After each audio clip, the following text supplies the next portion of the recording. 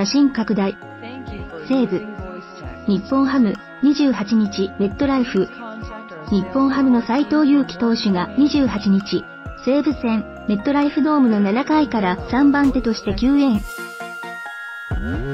2回を3奪三振無四球、1安打無失点の高救援を見せ、4点差同点劇を呼び込んだ。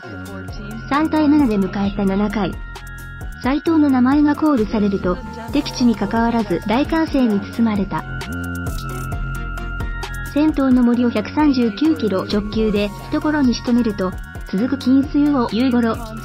岡田をフォークで空振り三振に仕留めた。7球で三者凡退に抑えた。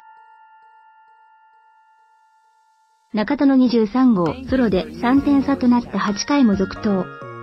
先頭、木村に左前打を許したが、続く秋山の打席で星野宇佐美が2投を阻止した。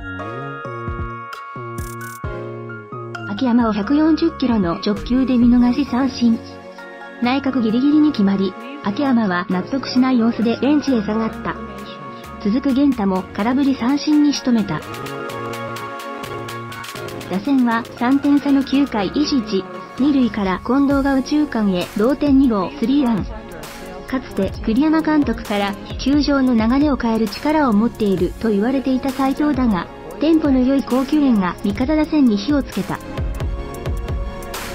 9回から守護神の秋吉がマウンドに上がった。斎藤は3回1安打1失点だった21日のロッテ戦以来、今季9試合目の登板で無失点投球。防御率3.38となった。フルカウント編集部。